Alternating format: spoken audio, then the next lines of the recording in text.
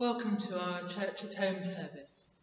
And I've come to peaceful Hensall Church today. And I hope that wherever you're watching this, you feel that same sense of God's peace with you that we feel in our church buildings.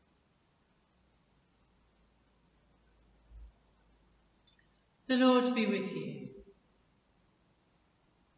We come from scattered lives to meet with God. Let us recognize his presence with us. As God's people, we have gathered. Let us worship him together. God our Father, we come to you in sorrow for our sins. So let's say together, Lord God, we have sinned against you. We have done evil in your sight. We are sorry and repent. Have mercy on us according to your love. Wash away our wrongdoing and cleanse us from our sin. Renew a right spirit within us and restore to us the joy of your salvation. Through Jesus Christ our Lord. Amen. May the Father forgive us by the death of his Son and strengthen us to live in the power of the Spirit all our days.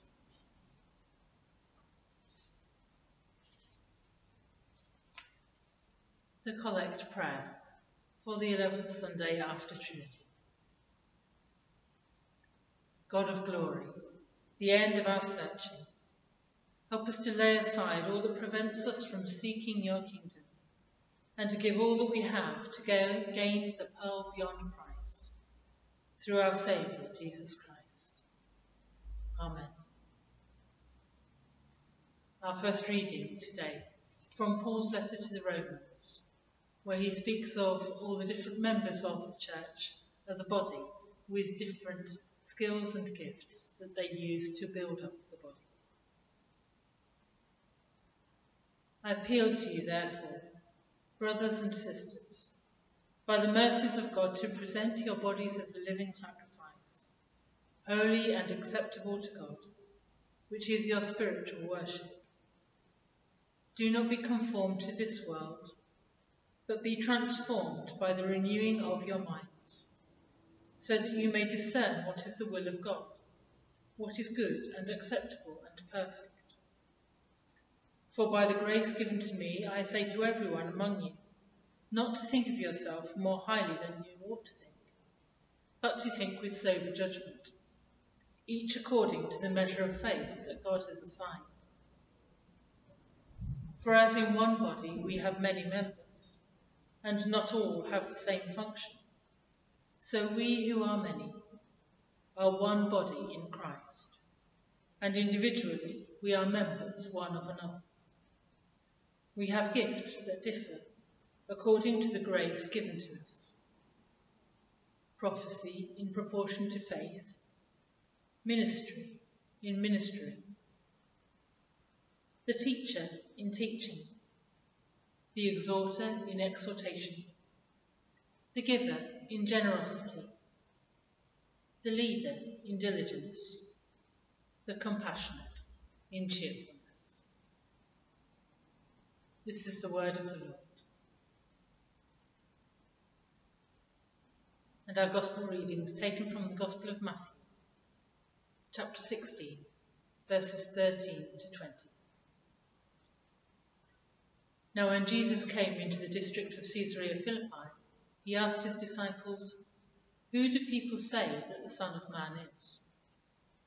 And they said, Some say John the Baptist but others Elijah, and still others Jeremiah or one of the prophets. He said to them, But who do you say I am? Simon Peter answered, You are the Messiah, the Son of the living God. And Jesus answered him, Blessed are you, Simon, son of Jonah, for flesh and blood has not revealed this to you, but my Father in heaven. And I tell you, you are Peter and on this rock I will build my church, and the gates of Hades will not prevail against it. I will give you the keys of the kingdom of heaven. And whatever you bind on earth will be bound on heaven in heaven. And whatever you loose on earth will be loosed in heaven. Then he sternly ordered the disciples not to tell anyone that he was the Messiah. This is the gospel of the Lord.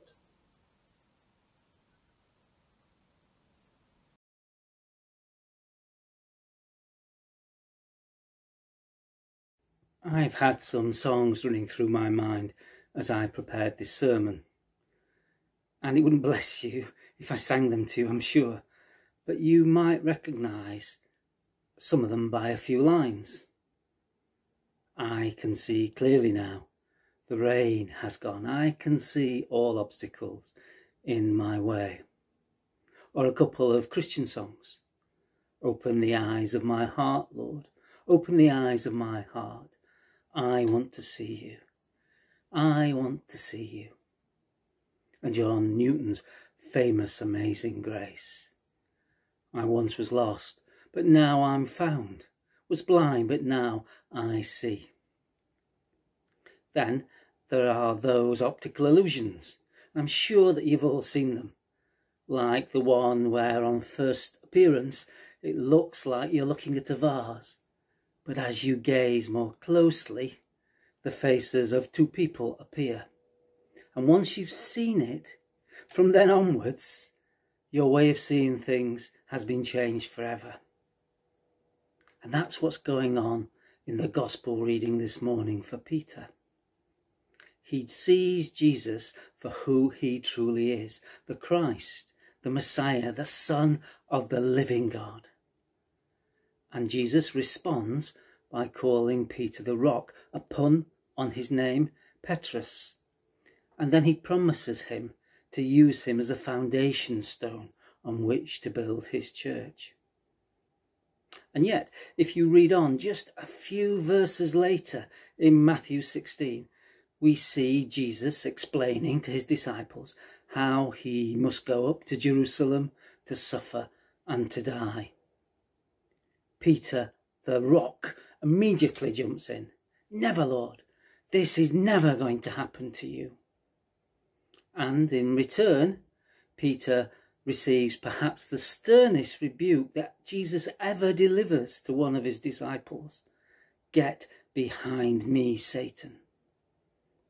Within just a few short verses, Peter gets it so right and then so wrong. Why such a difference? We can find the clues in the text. Here, at the beginning of the narrative, we're told that Jesus came to the region of Caesarea Philippi. And this we know to be a non Jewish area north of the Sea of Galilee, and it was a region well known to be pagan and devoid of any faith in Yahweh. And it's this which is the setting for Peter's insightful declaration of faith. No doubt some of the other disciples were starting to think this, but the typically impulsive and pioneer Peter was the first to express it. You, Lord, are not just the reincarnation of John the Baptist's spirit or the spirit of Elijah or some other great prophet. You are the Christ, the long awaited Messiah and the Son of the living God. And what did Jesus say? This was not revealed to you by man. It's, in other words, not human, secular understanding, the sort of thing that you might have expected in a region like Caesarea Philippi.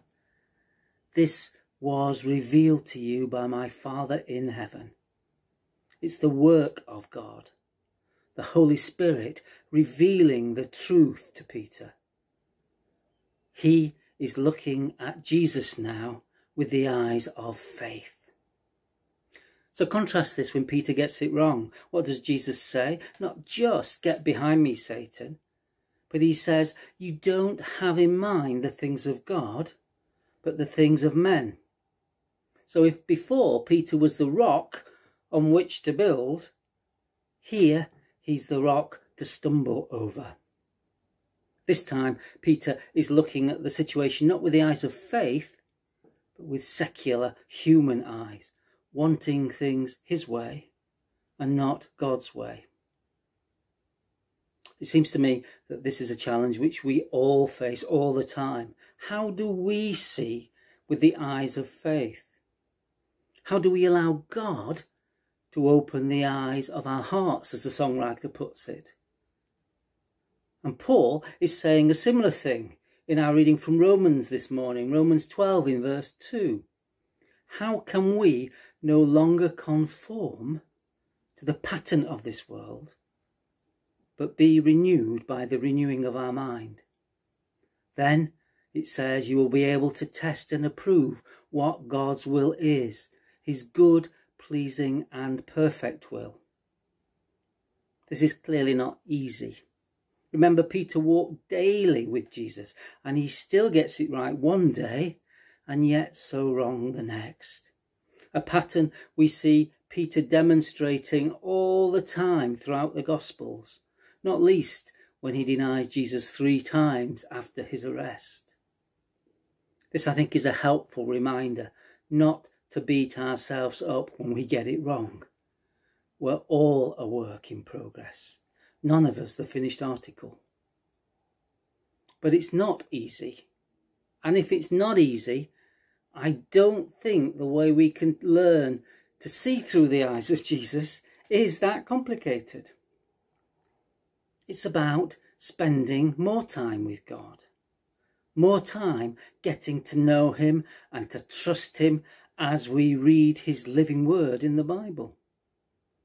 More time talking to Him and listening to Him in prayer. More time learning together in small groups and in our worship services. And more time opening ourselves up to the Holy Spirit working in our lives. Quite simply, spending more time with Jesus, learning to look more and more with the eyes of faith and not with the eyes of the world as I've talked to people over the last weeks and months of this awful COVID pandemic, it has been possible to see God moving powerfully in the midst of us all. And so often I've heard people say that they've been reading their Bibles more, using prayer guides and study notes prepared by their churches during the week, and praying more at home and prayer walking. And they've loved it. Perhaps it's because they haven't been able to follow their usual routine or to rely too heavily on the Sunday service. And so many people who, ha- who I have talked to have said how much this has helped them to grow in their faith. The challenge today is to see the things like Peter did through the eyes of faith. And when we get back to normal, whatever that normal is, the challenge is not to lose the good things which we've been doing, not reverting back to our old patterns of less, but continuing to seek more, more of God's word, more prayer, more of His Holy Spirit directing our lives, and not conforming to the pattern of this world, but allowing God to shape us as that ancient prayer of Richard, Bishop, Bishop of Chichester, so memorably put it. If we do this, we might seek to know Jesus more clearly, to love him more dearly, and to follow him more nearly, day by day. Amen.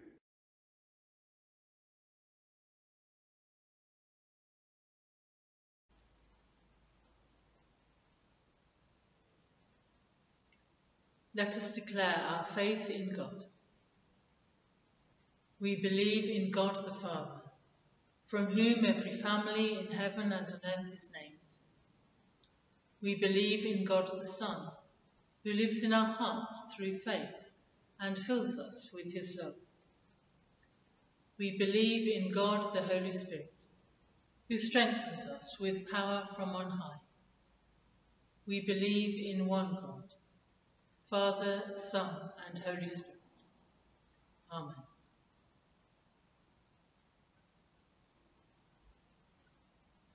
Now we bring our prayers of intercession.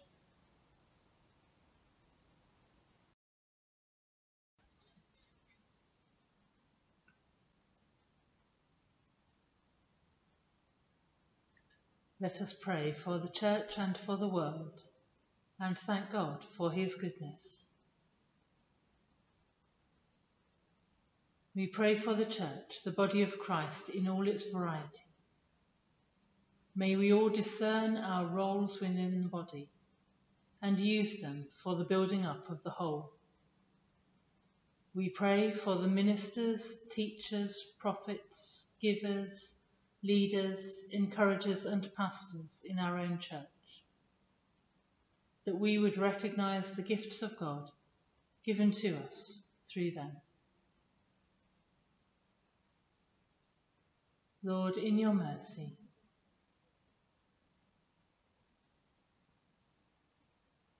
we pray for the world, your beautiful creation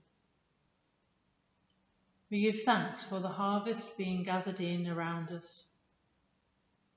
Help us to live in harmony with nature, as you created us to do, sharing generously the gifts of your creation.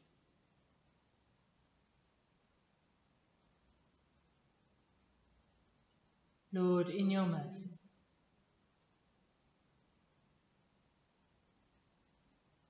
We remember the parts of the world marred by violence and destruction, and pray for your spirit of peace and cooperation. We pray for governments, that they may seek the common good without prejudice or favour.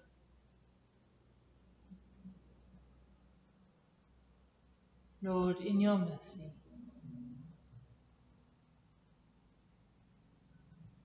We pray for our young people receiving their exam grades this week and last, for peace in the midst of turmoil and disappointment, and for their teachers as they prepare to return to teaching next month within the restrictions. May they be strengthened to offer support to the students in their care.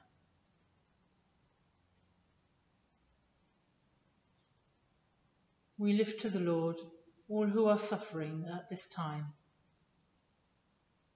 whether through anxiety or ill health, those we know and those we have been asked to pray for. We pray for them and all who care for them, that they will be enfolded in your loving care.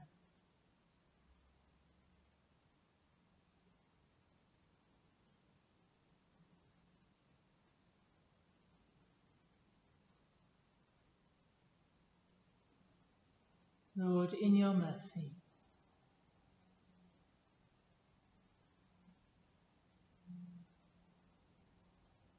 We bring to the Lord the desires of our own hearts, confident that He will hear and answer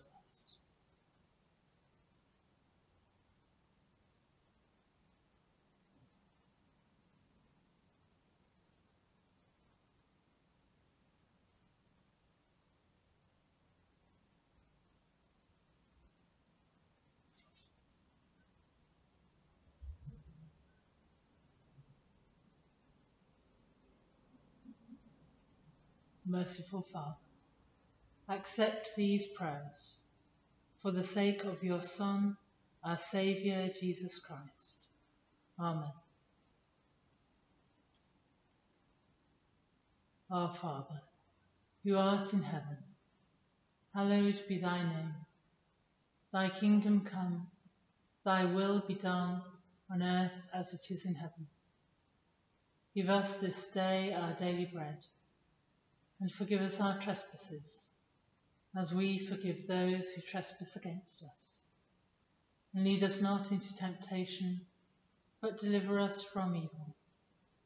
For thine is the kingdom, the power and the glory, for ever and ever. Amen.